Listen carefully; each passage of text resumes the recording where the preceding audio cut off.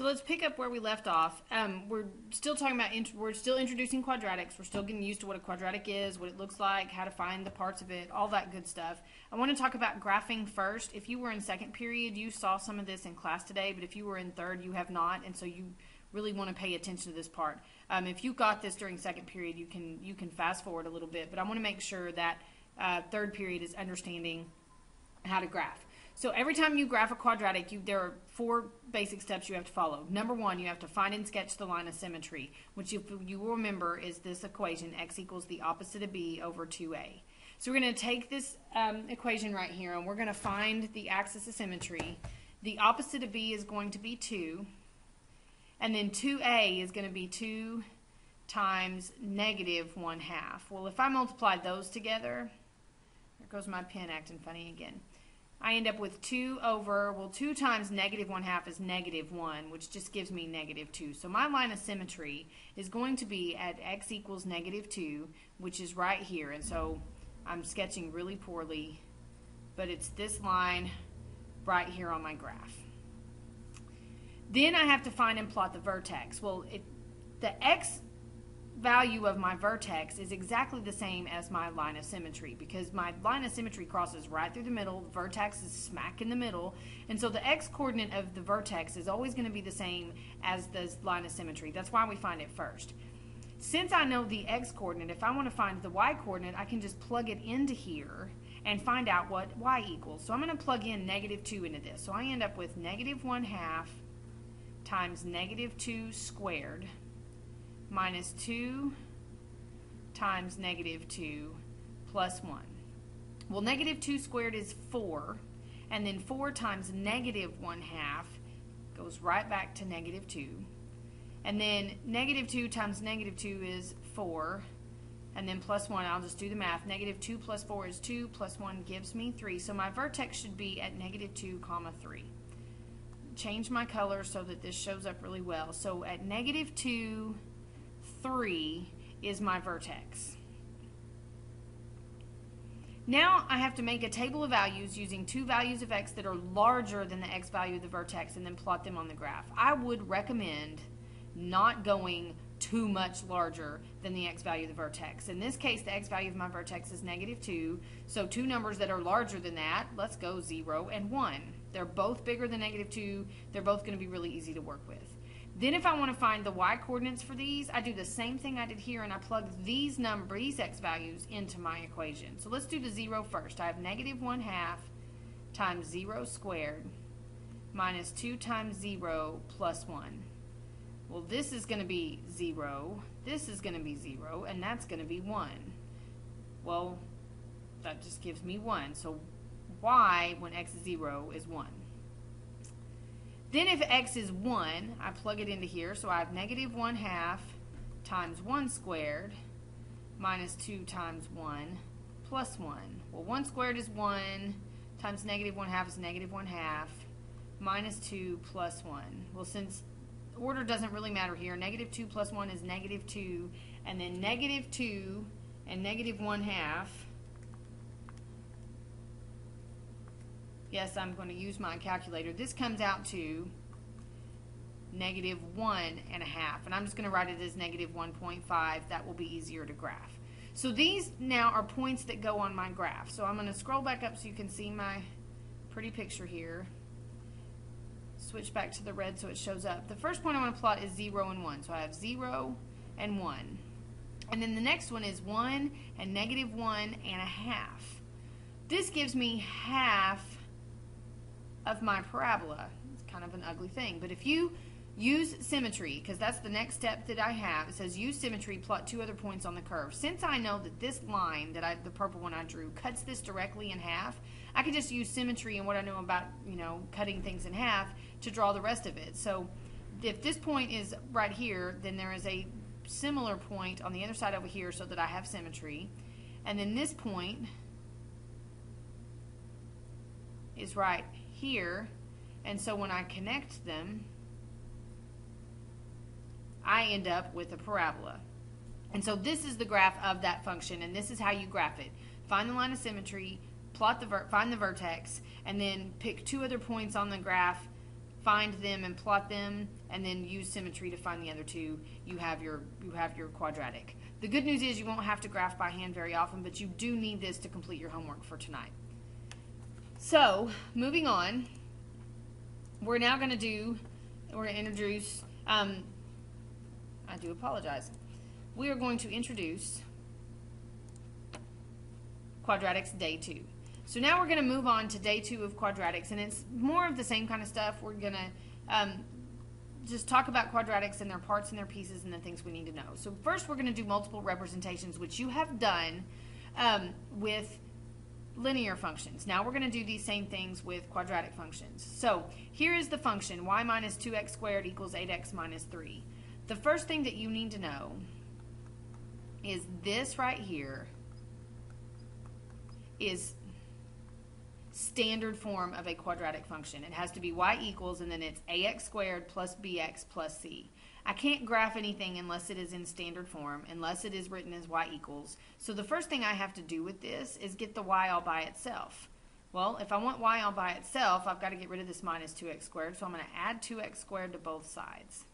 And then I'm just going to make sure I write it in the correct order so that it looks like this. So I end up with y equals 2x squared comes first, plus 8x minus 3. This way I can find my a, b, and c really easy. So I'm going to use this function and I'm going to come up with a table that goes with this that matches my, my function.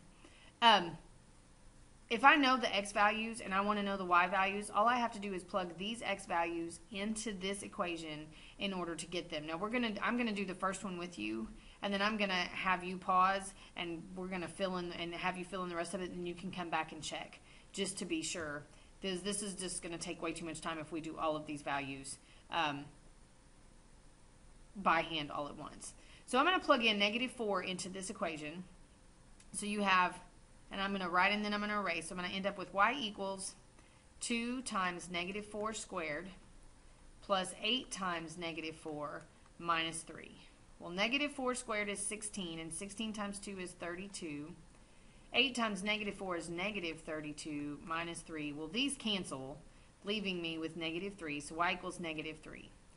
So why don't you take just a break for just a second, and then come right back, and we'll finish, so, and you can check where your values in this table and make sure that you have the same things that I have.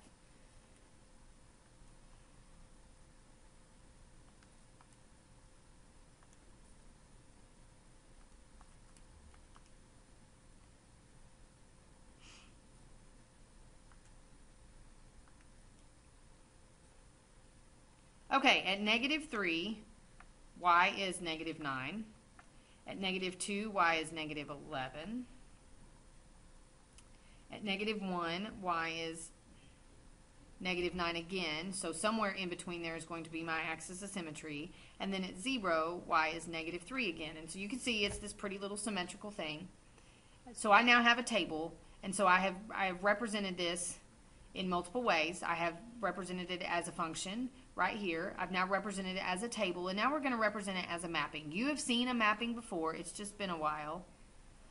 So I'm going to I'm going to show you one more time. When you do a mapping, you have these pretty little ovals. Hopefully yours are prettier than mine. This represents x and this represents y.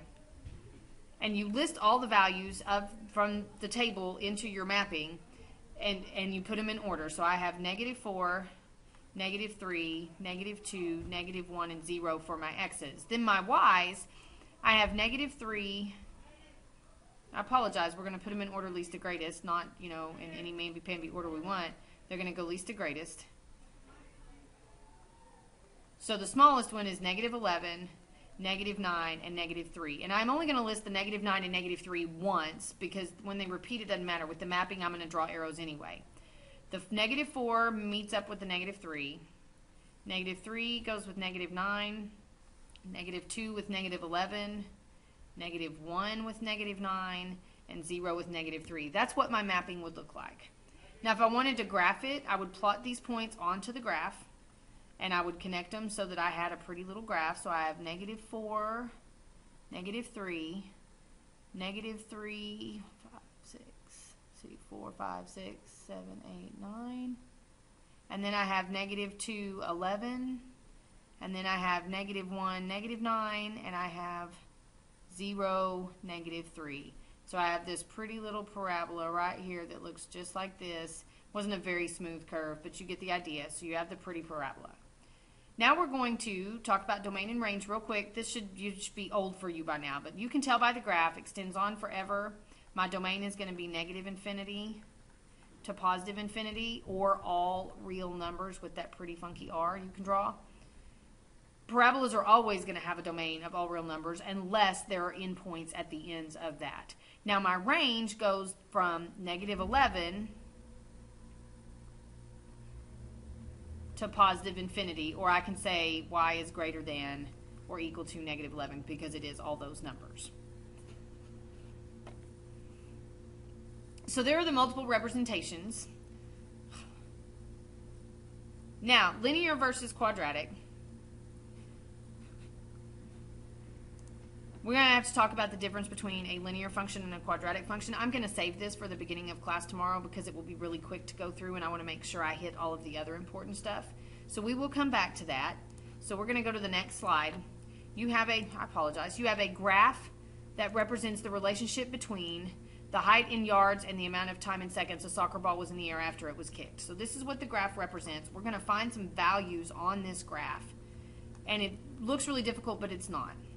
If you'll remember this f of 7 thing, this f of x thing, means the same thing as y. So when I'm asking you to find f of 7, I'm asking you to find the function value when x equals 7. So it means I go over here to my graph, x equals 7 right here, and if I want to know what the value of that graph is there, I just go up, it meets the graph right here, so it's going, and you slide over, you can see it is at 6. And so the function value at x equals 7 is 6.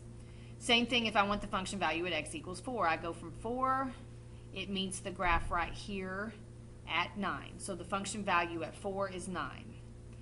Now the next one is backwards. Now they say when f of x is 6, find the value of x. Well, this means when y equals 6. Well, y equals 6 all along this line right here.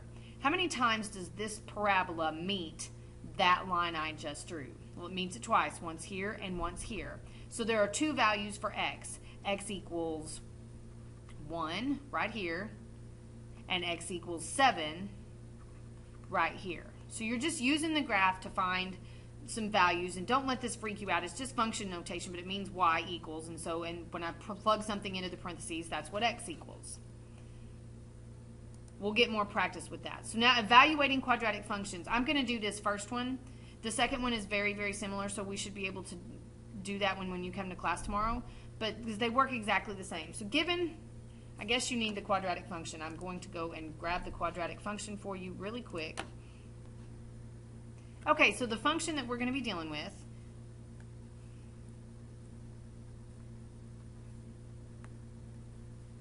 is going to be f of x is equal to 3x squared plus 2x minus 5. It says find the dependent variables when the independent variables are these four. We're only going to do this once or a couple times so you can get the idea. Independent and dependent. If you remember, independent variables are always x, the dependent variable is always y. So they're asking you to find y when x is these numbers. That means I get to plug these numbers in here for x, and I get to do it four times. So I'm going to start with 3 times negative 3 squared plus 2 times negative 3 minus 5. And then I do the math. Well, negative 3 squared is 9, and 9 times 3 is 27. 2 times negative 3 is negative 6 minus 5. Well, 27 minus 6 is 21, and 21 minus 5, oh, let's see, 16? So y equals 16. So the first value that I get is 16.